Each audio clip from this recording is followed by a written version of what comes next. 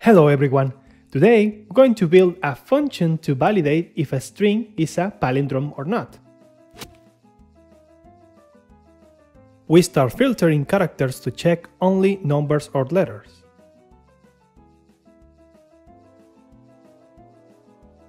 Then check if word is empty. We create the indices we create a loop to iterate the word from the edges using the indices. It will end if we reach the middle. And of course, we need to check if edge characters are not same. If that's the case, we invalidate this word as a palindrome. And finally, if we end the loop, that means this word is a palindrome and we return true. Cool, that's it. Now let's test our... Wait a second. What? Cannot subscript string with an int? What? That's correct. Unlike other languages, in Swift you cannot iterate a string using an int index. But why? We will explain that in this video and maybe save your life in an interview. My name is Pitt and this, this is Swift and Tips.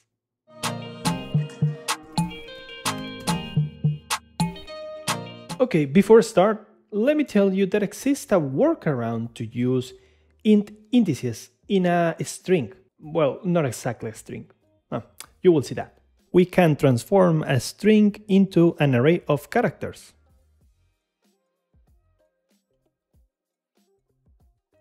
And voila, we can now use int indices. Let's run this one.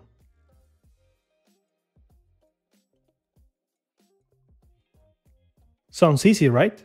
But here is a problem. We are consuming a lot of memory doing that because every letter must be inserted in a new array. This might work fine for a short string, but think that we might store a long one, even a book. We are duplicating the space consumed by this function just because we need to use int indices.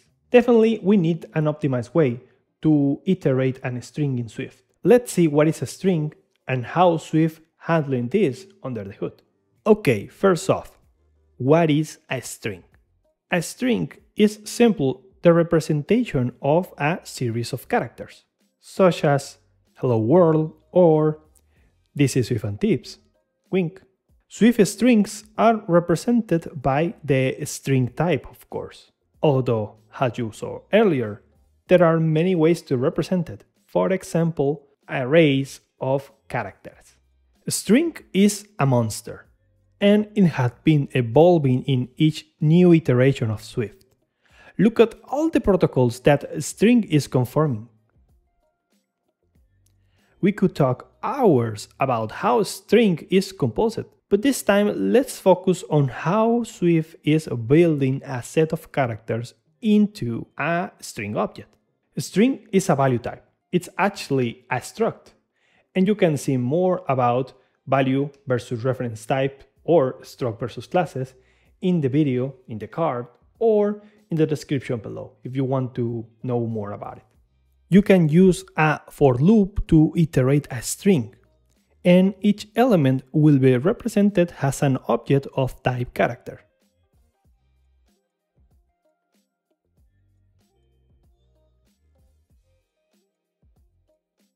Here is the interesting part.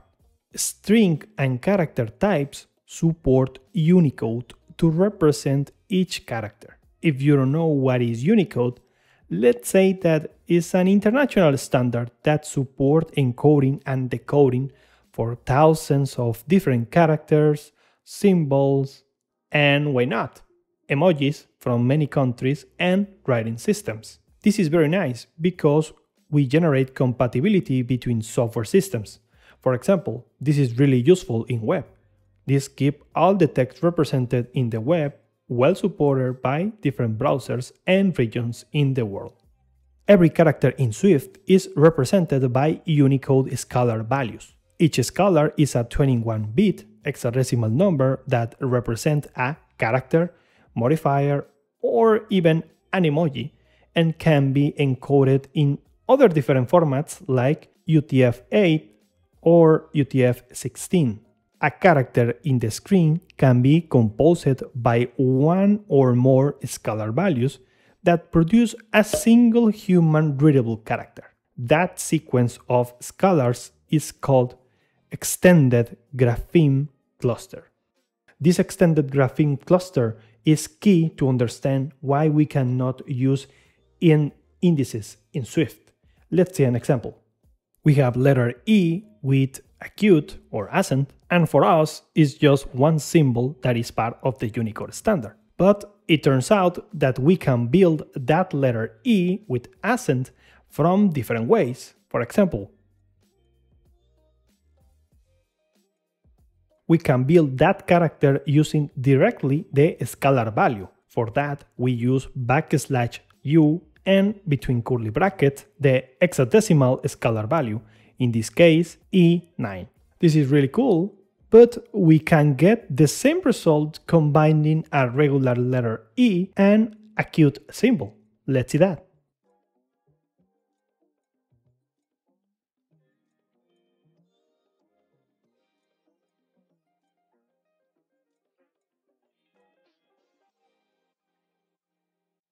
Here is another example with a Korean symbol.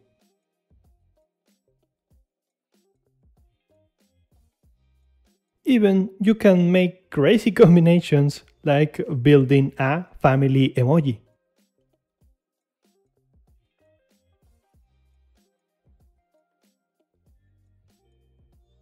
By the way, you can use Character Viewer in macOS if you want to try building more symbols. Check out the link in the description from NS Hipster. You get the idea. A single character is the result of one or many scalar values. But then, how Swift is counting those characters? As we saw earlier, we can iterate with a for loop, a string, and get each character. But also, we can use count property to get the number of characters in that string. One, two, three, four, five, six, seven. Yeah, seven characters. Swift used the extended grapheme cluster to do the counting process. In other words, the final combination of scalars for each character, and not each individual scalar. Here's an example with the word café in Spanish. That means coffee or brown color depending of the context. The first word, café, with regular E returns 4 has the number of characters. But if you combine an acute Unicode character at the end, we end up with café with accent, and the count value is still the same. For Swift, café and café have the same amount of characters, and for you too. This is the actual problem. Extended grapheme cluster can be composed by multiple Unicode scalars. This means that different characters and different representations of the same character can require different amount of memory to store. Thinking in terms of regular arrays, how can Swift know the amount of memory for each character? It can't. In regular array, each element can be identified because the amount of memory is reserved in a dedicated space and we just jump from one element to the next one by using an index. The problem here is that a string is not an array. Swift needs to figure out the scalar values every time we access a character contained in a string. In other words, the number of characters in a string cannot be calculated without iterating through the string to determine its extended grapheme cluster boundaries. And here is another important thing. If you are working with long strings, be aware that count property is expensive because we must iterate over the Unicode scalars in the entire string in order to determine the characters for that string. Okay, we now understand that Swift cannot figure out what is the concrete memory without iterating the whole string and figure out what are the scalar values for each character. That's the reason we cannot use dedicated in subscript in this case. But is there a way to use indices in strings? Actually, yes. Let's refactor our ispalindrome function and see what is the right way to use indices for a string. First off, let's replace the array of characters and go back to what we had originally. Okay, now take a look at word count.